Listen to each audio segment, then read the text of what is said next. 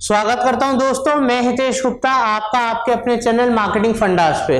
दोस्तों, आज हम बात करने जा रहे हैं कि फेसबुक ओपन ग्राफ क्या है, इसका किस तरीके से आप यूज़ कर सकते हैं, इससे क्या बेनिफिट मिलता है आपको एस में, और दोस्तों, इसको ओजी टैग के नाम से भी जाना जाता है। तो ये फेसबुक का एक टैग होता है जिसको ओजी टैग या ओपन ग्राफ कहते हैं दोस्तों। तो इसका क्या यूज़ है, क्या बेनिफिट है और कैसे इसको आप एस में यूज़ कर सकते हैं फेसबुक में यूज़ कर सकते हैं, इस ट्यूटोरियल में मैंने प्रॉपर एक्सप्लेन करा है, समझाया है। तो चलते हैं हमारे कंप्यूटर स्क्रीन पे और सीखते हैं।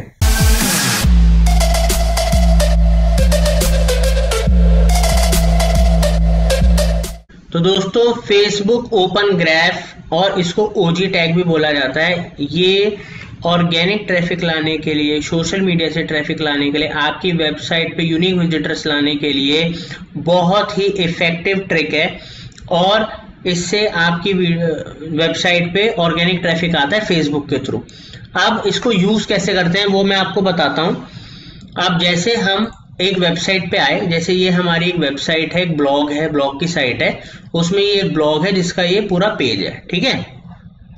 अब दोस्तों, चाहे ये हो, चाहे वेबसाइट हो, जैसे कि एच की साइट है, वो वर्डप्रेस का ब्लॉग है, ठीक है? तो इस तरीके से आपकी साइट हो या वेबसाइट हो, उसका कोई भी हम एक पेज लेते हैं अभी। तो दोस्तों, ओपन ग्राफ क्या है कि जब फेसबुक पे हम किसी भी पेज का यूआरएल शेयर करते हैं, जैसे अब हम फेसबुक ओपन करेंगे, अब फेसबुक ओपन करने के बाद यहाँ पर हम जब कोई चीज़ शेयर करते हैं, ठीक है? अब यहाँ पर हम पेस्ट कर देता हूँ वो यूआरएल अब यहाँ पर देखिए, ये यू डालते हुए पेज को फेच करा। अब दोस्तों, यहाँ पर भी एक सिंगल इमेज आ रही है। यहाँ पर टाइटल आ गया डिस्क्रिप्शन आ गई, ठीक है? अब दोस्तों, ये हमारा यू है। अब यहाँ पर कई बार क्या होता है, एक पेज की मल्टीपल इमेजेस भी आ जाती है, क्योंकि एक पेज में मल्टीपल इमेजेस हो सकती हैं।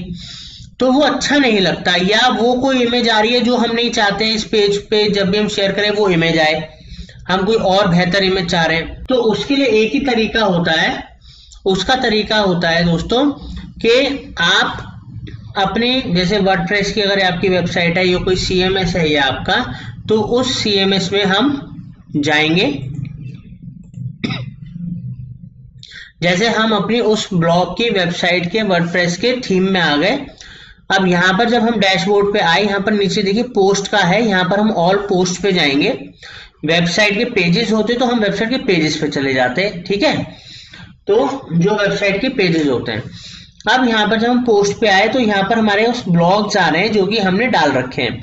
तो इस ब्लॉग पे हम आते हैं एडिट करते हैं, जिस ब्लॉग को मैंने आपको अभी वहाँ पर शेयर करा है।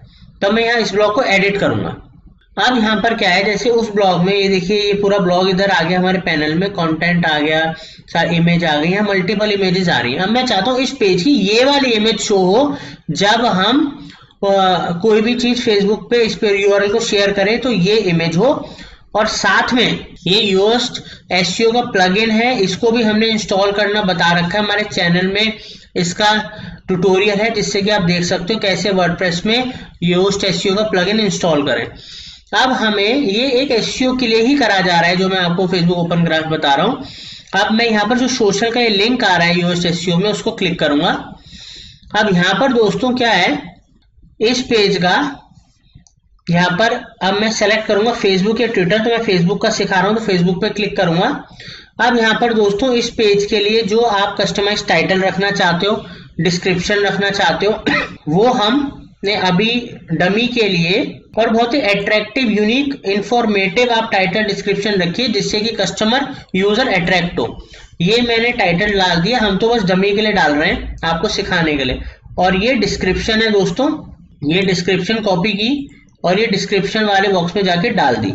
तो एस में हर पेज में आप रेलिवेंट टाइटल इस तरीके से डाल सकते हो डिस्क्रिप्शन इस तरीके से डाल सकते हो, जो कि क्या कहते हैं, आपकी इमेज को कॉम्प्लीमेंट करे इमेज आपके कंटेंट को कॉम्प्लीमेंट करे, और जो कंटेंट आपके ब्लॉग में है, उससे रिलेटेड ही टाइटल डिस्क्रिप्शन होना चाहिए। अब दोस्तों, जैसे यहाँ पर आपने देखा था, ये वाली इमेज शो हो रही है। अब मैं चाहता हूँ ये वाली इमेज शो हो, ठीक है? ये वाली तो अब इस इमेज को आपको अलग से अपलोड करना पड़ेगा, ठीक है? ये अपलोड इमेज का ऑप्शन देख हो, यहाँ पर साइज़ भी दिया हुआ है, इस साइज़ को हमेशा ध्यान रखिएगा, इसी साइज़ का डालिए तो परफेक्ट दिखेगा। अब अपलोड इमेज पे क्लिक करेंगे। अपलोड करेंगे, जहाँ पर भी आपने फ़ाइल रखी हुई है। अब हमने क्या है? हमने डेस्कटॉप पे इस इमेज को साइज़ में करके रखा हुआ है। ऐसे ही आप उस इमेज को अपलोड करोगे, जो भी रिकमेंडेड साइज़ होता है। और जैसे ही वो इमेज अपलोड हो जाएगी तो यहाँ पर आप देखिए, अब इसमें अल टेक्स्ट ये हमें देना है। तो हमेशा आप अपनी इमेज को एक टाइटल दीजिए। ठीक है? एक नाम दीजिए, जो कि हम अभी हम इसको ही दे देते हैं, ठीक है? डमी के लिए, बट नाम देना ज़रूरी है, चाहे आप कोई कीवर्ड दीजिए, चाहे उससे रिलेटेड कोई इंफॉर्मेटिव नाम दीजिए। ये तो हमने अभी डमी के लिए डाल दिया है तो हम, क्योंकि और इमेज को भी आपको नाम देना है, जिससे वो एस में वर्क करे क्रॉल करे गूगल उसको भी टाइटल भी दिया है हमने। कैप्शन देना चाहो तो यहाँ पर आप कैप्शन भी दे सकते हो, ठीक है? लाइक हमने अभी दे दिया कैप्शन ठीक है, हमने कैप्शन दे दिया। हेल्दी लाइफ स्टाइल ये हमने अभी डेमो के लिए लिख दिया, अब इसको हम यूज़ करेंगे इस इमेज को। ठीक है तो अब ये हमने अपडेट करा। अब यहाँ पर अपडेट पे क्लिक करेंगे तो ये अपडेट होगा। ये अपडेट हो रहा है, ठीक है, ये अपडेट हो गया है। अब हम क्या करेंगे फ्रेंड्स अब हम उसी पे वापस जाएँगे, इसको रिफ्रेश करेंगे इस पेज को। ठीक है? इस पेज को हमने रिफ्रेश करा। अब इस यूआरएल को हम दोबारा कॉपी करेंगे। वापस गए। इसको बंद करेंगे। एक बार इस पेज इस, एक बार इस पेज को पूरा सा रिफ्रेश कर लेते हैं। ठीक है? जिससे फ्रेश तरीके से दोबारा से डालेंगे, इसको पहले पेज पूरा लोड हो जाए। अब यहाँ पर लोड होने के बाद पेज अब यहाँ पर मैं वो जो रिफ्रेश जो दोबारा यूआरएल हमने करा था उसको मैंने डाला। ठीक है? तो अब हमें इसको हाँ अब दोबारा अब दोस्तों एक चीज़ देखिएगा। अब यहाँ पर हमारे वहाँ अपडेट करने के बावजूद भी अभी फेसबुक में वो इमेज उसने नहीं लिया और वो कंटेंट नहीं लिया। कई बार ऐसा हो जाता है और कई बार वो ले भी लेता है। तो इसके लिए फेसबुक का अपना एक आ, साइट है जिसको कि आप गूगल में सर्च कर सकते हो लाइक फेसबुक लिख लीजिए या एफ़ डी बगर करके है। अब यहाँ पर आप जाइए, इसको ओपन कीजिए। फेसबुक का अपना डेवलपर लिंक है। अब उस यूआरएल को आप यहाँ पर पेस्ट करो। ठीक है? अब इसको क्लिक करो। अब ये जैसे आपने करा, अब आपको स्क्रैप अगेन जैसे हमने करा। ठीक है? अब यहाँ पर आप देखिए देखिए। ये हमारा जो हमने अभी रिसेंटली टाइटल डिस्क्रिप्शन जो डाला था, देखिए जो मैंने अभी डाला था, वो सब वापस आ गया। अब हम क्या करेंगे, अभी चार सेकंड पहले ही ये अपडेट हुआ है। ठीक है दोस्तों? अब हमें क्या करना है? फेसबुक पे जाना है और इसको बंद कर देते हैं। एक बार फिर से रिफ्रेश कर लेते हैं। अब रीलोड होने के बाद पेज रिफ्रेश होने के बाद हम दोबारा से वहाँ पर जो लिंक है फ्रेश लिंक है, इसको उसी लिंक को पेस्ट करेंगे। अब ये फैच कर रहा है। अब देखिए दोस्तों, हो गया। इमेज आ गई टाइटल आ गया, सब कुछ आ गया। तो दोस्तों, इसी तरीके से अब जब भी इस पेज को वेबसाइट के पेज को या यूआरएल को कहीं पर भी हम शेयर करेंगे पोस्ट करेंगे, ठीक है? ये तो फेसबुक पे ओजी टैग हो गया। कहीं पर भी अब हम इसको करेंगे यूआरएल को तो वो ये इमेज टाइटल डिस्क्रिप्शन के संग होगा। तो इससे आपके उस पेज को एक ऑथेंटिसिटी मिलती है, नाम मिलता है टाइटल मिलता है डिस्क्रिप्शन मिलता है और एक पहचान मिलती है, ठीक है? अब जैसे कि ये तो हो गया जो वेबसाइट्स डायनेमिक वेबसाइट है, जिसमें सीएमएस है चाहे वर्डप्रेस का है, किसी का भी सीएमएस हो सीएमएस में जाके आप ये सब चीज़ें कर सकते हो। कई बार साइट स्टैटिक साइट्स भी होती हैं, ठीक है? जहाँ पर कोई सीएमएस वगैरह पैनल नहीं होते तो इसको भी दोस्तों पहले मैं बता दूँ, इसको जब आप पोस्ट करोगे तो ये पोस्ट हो जाएगा और ये फेसबुक में शेयर हो जाएगा। तो उन लोगों पे ये पहुँच जाएगा, कोई भी आपके इस इमेज पे क्लिक करेगा यूआरएल पे क्लिक करेगा तो आपकी वेबसाइट पे चला जाएगा। तो इससे क्या होगा कि जब ये कहीं शेयर करा गया, लोगों को पसंद आया, उन्होंने क्लिक करा तो आपकी वेबसाइट पे आए तो ट्रैफ़िक बढ़ा, आपका ट्रैफ़िक इंक्रीज हुआ ऑर्गेनिकली अब मैं बता रहा था आपको स्टैटिक वेबसाइट के लिए। ठीक है? तो इसको हम करेंगे क्लोज एक बार फेसबुक को फिर से रिफ्रेश कर देते हैं. अब मैं अपनी एक साइट पे आता हूँ स्टैटिक साइट है, जैसे मीडिया भाई हमारी जो एजेंसी की वेबसाइट है स्टैटिक वेबसाइट है. अब दोस्तों, इसमें स्टैटिक वेबसाइट में क्या होता है? जो आपका डिज़ाइनर डेवलपर होता है, उसको आपको क्या करना होता है?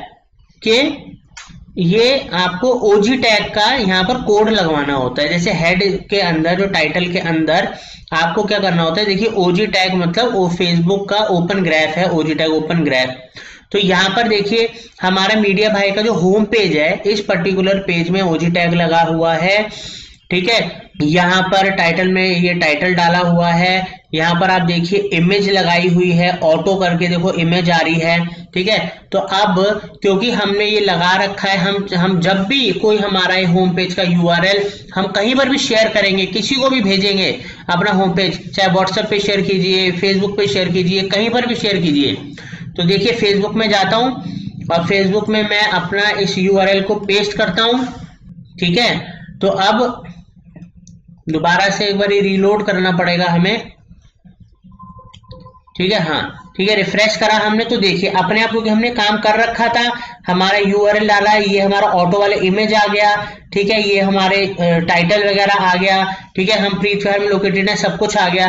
तो इस तरीके से बहुत फ़ायदा होता है अगर आप एक पेज को वेबसाइट के, हर पेज को आप प्रॉपर टाइटल दो, एक इमेज दो डिस्क्रिप्शन दो एस में बहुत बेनिफिट होता है ऑर्गेनिक ट्रैफ़िक आता है, कहीं पर भी शेयर करोगे, आपकी ब्रांडिंग एक मतलब प्रोफेशनल ये एक मतलब ट्रेंड है, ये एक तरीका है जो आपको गूगल ने बता रखा है फेसबुक ने बता रखा है। इस तरीके से आप अपने पेजेस को बनाइए शेयर कीजिए और फेसबुक ओपन ग्राफ के थ्रू बहुत सारा ऑर्गेनिक ट्रैफ़िक अपनी वेबसाइट पे लाइए और ये एस के लिए बहुत बढ़िया ट्रिक है। ठीक है दोस्तों? तो इसी तरीके से कीजिएगा। तो दोस्तों, आज हमने जाना ओजी टैग के बारे में या ओपन ग्राफ के बारे में। उम्मीद करता हूँ अच्छे से आपको समझ में आया होगा। फिर भी कोई डाउट है कमेंट सेक्शन में कमेंट कीजिए, हम आपको सपोर्ट करेंगे, आपको हेल्प करेंगे।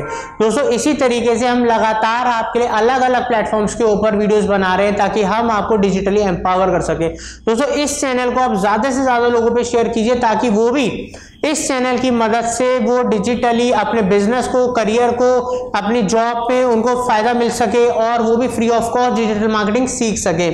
तो दोस्तों प्लीज़ हमारे चैनल को लाइक कीजिए शेयर कीजिए सब्सक्राइब कीजिए बेल आइकन ज़रूर दबाइएगा। Thank you for watching Marketing Fundas